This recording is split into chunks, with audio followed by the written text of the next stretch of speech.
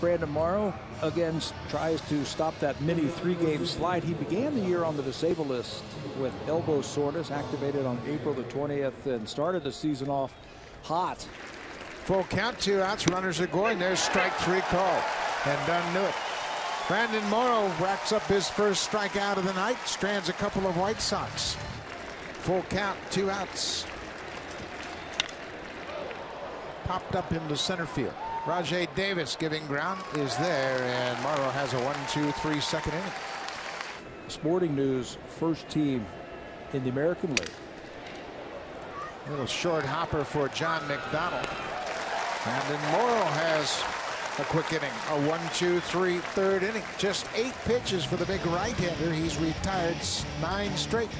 Not those two center fielders. They're leadoff hitter types. Make it 63. Brandon Morrow strikes out Adam Dunn for a second time. You have to put all the pressure on him, and he's got to come to you. Hot shot to McDonald. Goes to second for the force out, and Brandon Morrow minimizes the damage. Got him.